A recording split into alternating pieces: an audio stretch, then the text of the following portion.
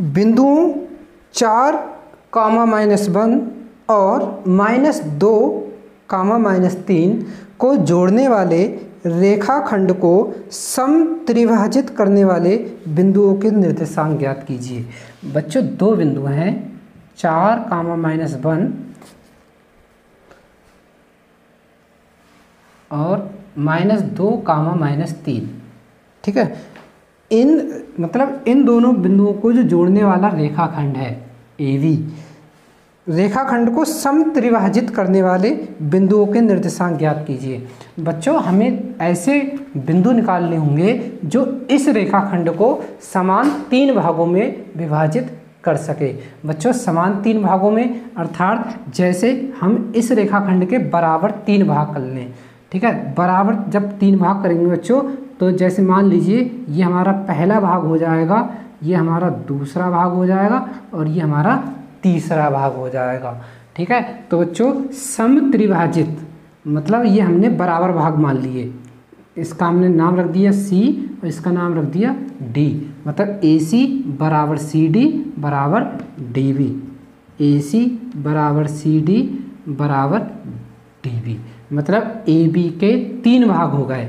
ए C C D और D B जो तीनों बराबर हैं। ठीक है? जो तीनों बराबर हैं। बच्चों, जब ये तीनों बराबर हैं तो बच्चों जैसे मान लीजिए कि ये एक भाग हो गया हमारा। क्या हो गया? एक भाग। तो बच्चों, हमें यहाँ पर एक लिख दें। तो बच्चों सी डी हमारा एक भाग हो जाएगा और डी बी भी हमारा एक भाग है, क्योंकि ये तीनों भाग यहाँ से यहाँ तक बराबर हैं। ठीक है? ये तीनों भाग यहाँ से यहाँ तक बराबर हैं, इसलिए ये एक भाग हो गया, ये एक भाग हो गया और ये ये हमारा एक भाग हो गया। अब बच्चों, हमें ये जो दो बिंदु हैं, जो इस रेखाखंड को तीन बराबर भागों में डिवाइड कर रहा है, हम इन दोनों बिंदुओं के निर्देशांक ज्ञात करेंगे। तो बच्चों सी के निर्देशांक होंगे हमारे। सी के निर्देशांक। बच्चों, सूत्र क्या होता है? आपके लिए सूत्र पता है कि जो बिंदु होता है M one X two plus M two X one upon M one plus M two इसी प्रकार बाई का जब निकालेंगे तो M one Y two plus M two Y one upon M one plus M two ठीक है? तो बच्चों, जब हम सी के निर्देशांक निकालेंगे तो ये हमारा सी पॉइंट होगा। ठीक है? इस सी पॉइंट के लिए बच्चों भाग हो जाएगा हमारा।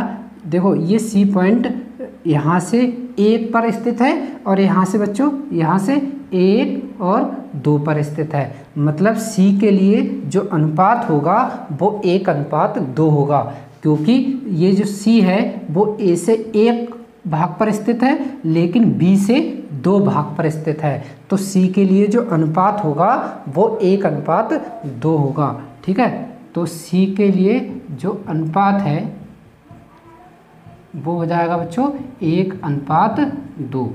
ठीक है? सी जो है, वो रेखाखंड ए बी को एक अनुपात दो में विभाजित कर रहा है। और ठीक है? सी जो है, वो रेखाखंड ए बी को एक अनुपात दो में विभाजित कर रहा है। तो बच्चों सी के निर्देशांक हो जाएँगे हमारे एम वन एम वन बच्चों, हमारा एक हो जाएगा एम वन एक्स टू तो बच्चों एक्स टू हमारा माइनस का दो, plus M two X one M two और एक्स वन हो जाएगा चार अपॉन वन प्लस टू क्योंकि सूत्र में होता है M one plus M two बच्चों, इसी प्रकार ये तो हमारे लिए x का हो गया।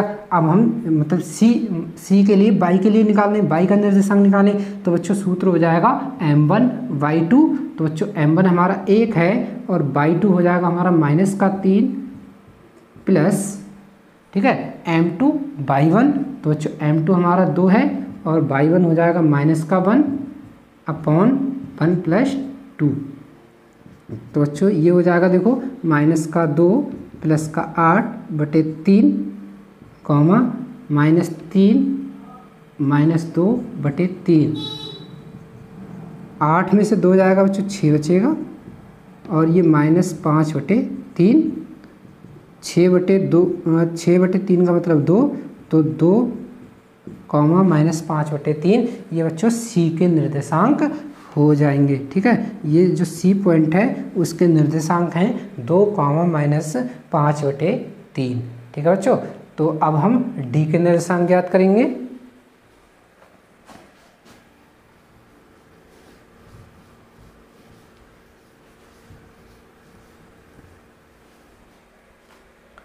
बिंदु डी के निर्देशांक।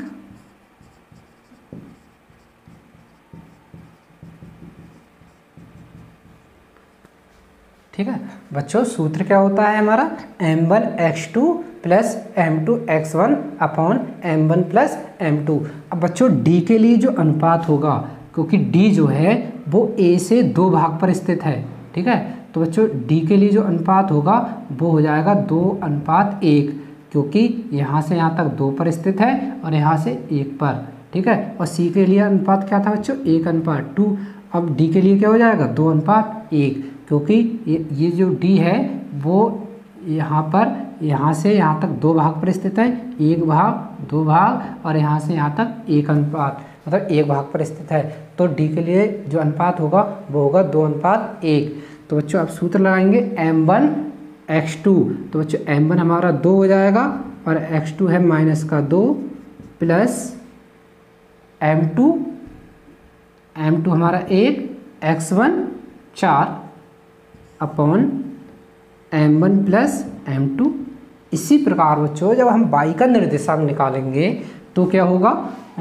एम वन बाई टू तो एम वन हमारा टू है और बाई टू माइनस का तीन plus M two Y one minus का one upon M one plus M two.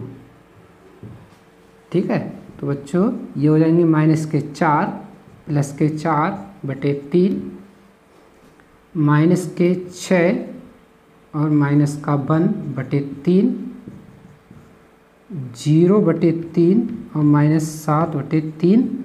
बच्चों, ये हो जाएगा ज़ीरो और माइनस सात बटे तीन। ठीक है? तो बिंदु डी के निर्देशांक होंगे हमारे ज़ीरो कामा माइनस सात बटे तीन।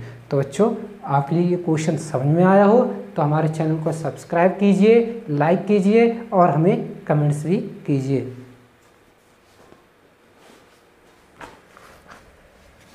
आते हैं बच्चों, क्वेश्चन नंबर तीन की ओर।